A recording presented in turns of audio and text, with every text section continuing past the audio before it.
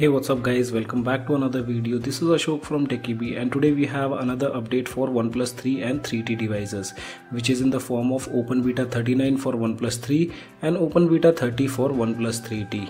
So if you guys have not received the update you can check the about section. If you are already running Open Beta and if you are not running Open Beta then you need to manually download the file from the description below and flash it using TWRP recovery or, or stock recovery these are the changes what they have done on the latest update.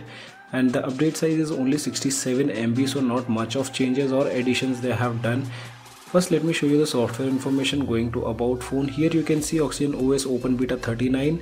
Android version is still 8.0. The device is still not updated to Android 8.1 and security patch is 1st June 2018.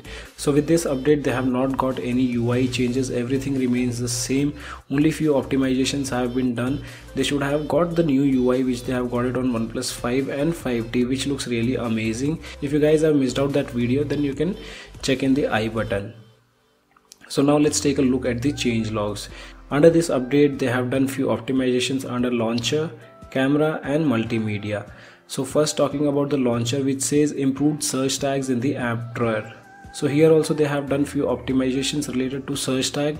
As you can see if you tap this search by name you you get few tags available like tool photos social travel and tourism. So here they have done few optimizations after that they say added new install category tag in the app drawer. Yes here they have added a new install category. So once you tap this you will get all the applications which are recently installed or which are newly installed then moving on to the third changelog under launcher, it says improved app list for hidden space and toolbox. So if you guys are not aware about hidden space, you can access it by opening the app drawer and then swiping towards your right hand side. As you can see here, here you get an option of hidden space.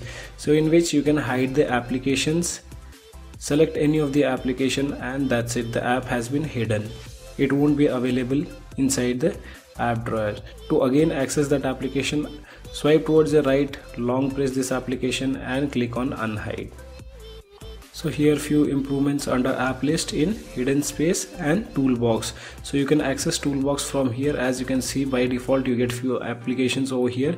If you want you can just go to this edit button and add your applications which you want. And other applications which comes by default you can remove them Moving on to the next change log which is related to camera which says optimize switching between front and rear camera. So here also there are no improvements done, few optimizations done that too in switching front and back camera. So if you open camera application here, double tap the screen the device switches the camera from front to back or back to front. And the last changelog is related to multimedia which says support seeking through timeline for AAC audio files now your device also supports advanced audio coding.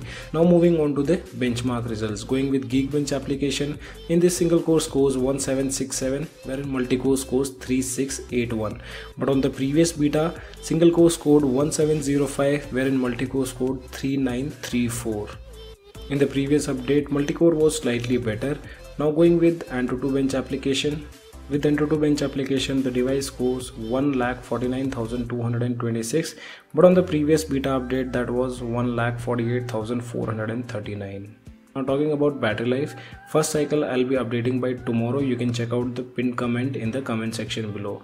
So guys, this was all in today's video. Hope you like this video and if you like this video then do give me a thumbs up. Also if you're new to my channel then do not forget to subscribe the channel. Thanks for watching. Have a great day.